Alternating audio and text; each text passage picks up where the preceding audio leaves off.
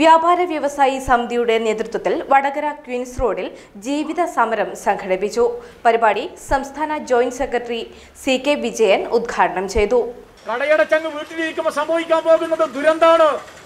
പതിനഞ്ച് വ്യാപാരികൾ ഈ ലോക്ക്ഡൌൺ കാലത്ത് ആത്മഹത്യയിൽ അഭയം തേടിയിട്ടുണ്ട്.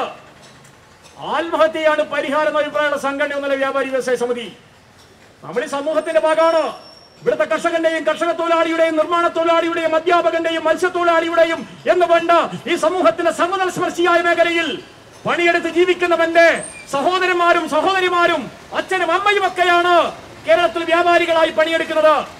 നമ്മൾ വെള്ളം കടക്കാത്തറിയൊന്നല്ല ഈ സമൂഹത്തിന്റെ ഭാഗമായി ജീവിക്കുന്നവരെന്ന രൂപത്തിൽ ഞങ്ങൾക്ക് സംരക്ഷണം കിട്ടാവുന്ന രൂപത്തിൽ ഞങ്ങൾക്ക് ജീവിക്കാൻ കഴിയുന്ന രൂപത്തിൽ ഞങ്ങളുടെ കടകമ്പോളങ്ങൾ നിയന്ത്രണ വിധേയമായി അടിവരയിട്ട് ഞങ്ങൾ പറയാണ്.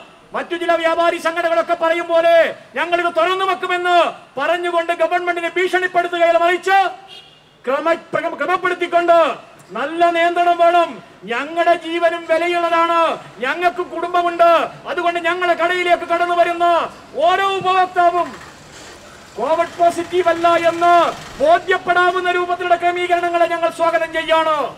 സാമൂഹ്യ ഞങ്ങൾ സ്വാഗതം ചെയ്യാണ്. എന്തുപാധി വെച്ചാലും വേണ്ടില്ല. ഈ കമ്പോളം തുറക്കാൻ പറ്റണം. നിങ്ങൾ നോക്ക് ലക്ഷക്കണക്കിന് രൂപയുടെ സാധനങ്ങൾ കടകളിൽ കെട്ടി നിന്ന് നശിക്കുകയാണ്.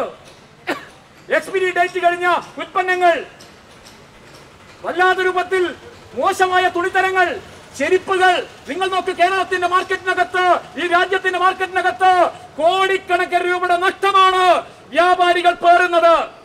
കച്ചവടക്കാരെല്ലാരും ടാറ്റയും ബിർളയും എന്നല്ലല്ലോ.